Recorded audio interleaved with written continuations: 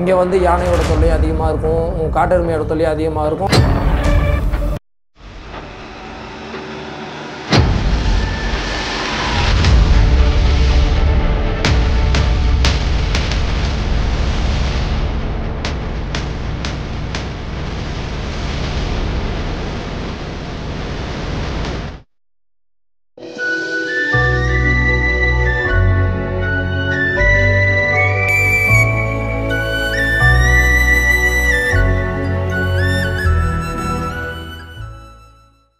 எங்களோட ஷாப் எங்கே லொக்கேட் ஆயிருக்குன்னு பார்த்தீங்கன்னா திண்டுக்கல் டிஸ்ட்ரிக்ட் ஆடலூர் பக்கத்தில் கேசிப்பட்டின்ற ஊரில் தான் எங்களோட ஷாப் லொக்கேட் ஆயிருக்கு.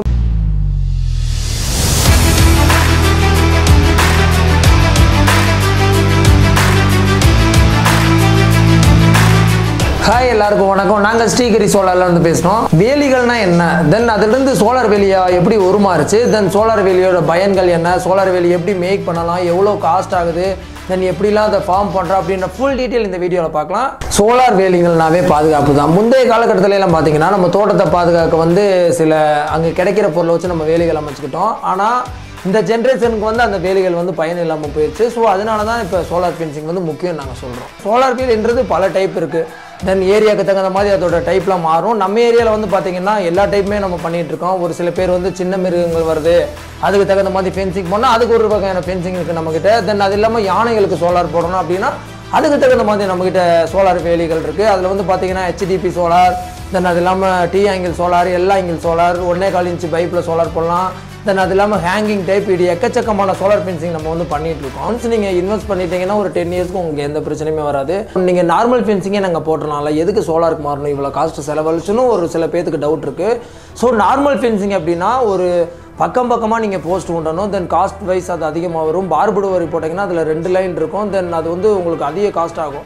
சோலார் ஃபென்சிங் அப்படி கிடையாது. இருபது அடிக்கு ஒரு போஸ்ட் உண்டா போதும். தென் காஸ்ட் வைஸ் உங்களுக்கு ரொம்ப ரொம்ப கம்மி. அது இல்லாமல் தேர்ட் பெர்சனோ ஒரு விலங்குகளோ நார்மல் ஃபென்சிங் வந்து ஈஸியாக அட்டாக் பண்ணிட்டு உள்ளே வந்துடும் ஆனால் சோலார் ஃபென்சிங்கில் அப்படி பண்ண முடியாது. தென் நீங்களே அந்த சோலாரோட அனுமதி இல்லாமல் உள்ளே போக முடியாது.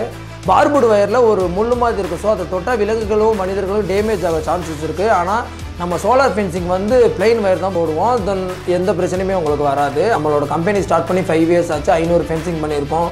அது இல்லாமல் கோயம்புத்தூர் ஏற்காடு கொடைக்கானல் ஊட்டி இந்த மாதிரி மலை பிரதேசங்களில் நம்ம வந்து ஃபென்சிங் அதிகமாக பண்ணியிருக்கோம். தமிழ்நாடு இல்லாமல் கேரளாலே உங்களுக்கு சோலார் ஃபென்சிங் தேவைப்பட்டால் தாராளமாக எங்களை காண்டாக்ட் பண்ணுங்கள் நாங்கள் வந்து இந்தியா ஃபுல்லாக எங்கள் நாங்கள் சர்வீஸ் பண்ணுறதுக்கு வந்து ரெடியாகவே இருக்கோம். டைமர் வச்சுருக்கோம். தென் அந்த டைமர் வந்து எப்படின்னு பார்த்தீங்கன்னா morning six o'clock off ஆகிற மாதிரியும் then evening six o'clock on ஆகிற மாதிரி நீங்கள் செட் பண்ணி வச்சுக்கலாம். நம்ம மொபைலில் வந்து சிம்மில் வந்து அந்த மேனுவலை வந்து ஆன் பண்ணி வச்சுட்டோன்னா நீங்கள் ஒரு ஃபோன் பண்ணால் அது வந்து ஆட்டோமேட்டிக்காக ஆஃப் ஆயிரும். தென் ஒரு கால் பண்ணிங்கன்னா ஆட்டோமேட்டிக்காக ஆன் ஆயிரும். இது வந்து ரொம்ப ரொம்ப ஒரு யூஸ்ஃபுல்லாக இருக்குது ஒரு சோலார் வேலி போடணும்னா எவ்வளோ காஸ்ட் ஆகும்னு கேட்குறாங்க ஃபஸ்ட்டு பார்த்தீங்கன்னா சோலார் வேலி போடுறதுக்கு டூ எயிட்டிலேருந்து காஸ்ட் வந்து ஸ்டார்ட் ஆகுது. இது வந்து பார்த்திங்கன்னா மீட்ரு அதிகமாக அதிகமாக காஸ்ட் வைஸ் குறையும். நம்மக்கிட்ட பார்த்து பார்த்தீங்கன்னா டூ ஃபிஃப்டிலேருந்து தௌசண்ட் ருபீஸ் வரைக்குமே சோலார் ஃபென்சிங் நாங்கள் வந்து மேக் பண்ணி கொடுத்துட்ருக்கோம் ஒன் இயர் ஃப்ரீ சர்வீஸ் பண்ணி கொடுக்குறோம். நாங்கள் வந்து ஐநூறுக்கு மேலே வந்து சோலார் ஃபென்சிங் போட்டாச்சு.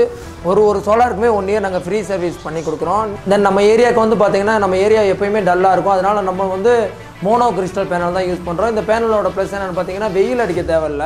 வெளிச்சம் பட்டாலுமே நல்லாவே சார்ஜ் ஆகும். தென் அதுக்கப்புறம் எனர்ஜைசர் இதுதான் மொத்த சோலாரையுமே நம்ம கண்ட்ரோல் பண்ணுறது இதுதான் எனர்ஜைசர் தென் அதுக்கப்புறம் பார்த்தீங்கன்னா பேட்ரி பேட்ரி வந்து ஃபஸ்ட்டு எதுக்குன்னு பார்த்தீங்கன்னா பேக்கப்புக்கு மட்டும்தான். நீங்கள் சிட்டி சைடில் இருக்கீங்க அப்படின்னா சின்ன பேட்டரி போட்டாலே போதும். ஏன்னா அங்கே வெயில் அதிகமாக அடிக்கும் சார்ஜிங் அதிகமாகும் ஹில் ஸ்டேஷனில் வந்து பார்த்தீங்கன்னா பெரிய பேட்டரியாக போடுறது எதுக்குன்னா ஒரு வெயிலே அடிக்காட்டியுமே ஒரு ரெண்டு நாள் மூணு நாள் பேக்கப்புக்காக தான் நம்ம யூஸ் பண்ணுறோம் எங்ககிட்ட நீங்கள் சோலார் ஃபென்சிங் போட்டிங்கன்னா நாங்கள் ஒன் இயர் ஃப்ரீ சர்வீஸும் டென் இயர்ஸ் வாரண்டியும் பண்ணி கொடுக்குறோம். ஒன் இயர் ஃப்ரீ சர்வீஸ்னால் என்னென்னு பார்த்தீங்கன்னா இயற்கை சீற்றங்கள் இல்லை ஒரு மாடு வந்து உடச்சிருச்சு அப்படின்னா நீங்கள் ஒரு ரூபா கூட எங்களுக்கு பே பண்ண தேவையில்ல. நாங்கள் ஃப்ரீயாகவே நாங்கள் டிரான்ஸ்போர்ட் சார்ஜஸ் கூட கேட்க மாட்டோம். நாங்கள் ஃப்ரீயாகவே உங்களுக்கு வந்து சேஞ்ச் பண்ணி கொடுக்குறோம். உங்களுக்கு சோலார் ஃபென்சிங் தேவைப்பட்டாலும் சரி இல்லை நீங்கள் ஆல்ரெடி சோலார் ஃபென்சிங் போட்டிருக்கீங்க அப்படின்னா சர்வீஸ் பார்க்கணுன்னாலும் சரி நீங்கள் ஸ்க்ரீனில் தெரிய நம்பருக்கு கால் பண்ணுங்கள் எங்கள் ஆஃபீஸ்லேருந்து உங்களுக்கு ப்ராப்பர் டீட்டெயில்ஸ் கொடுப்பாங்க.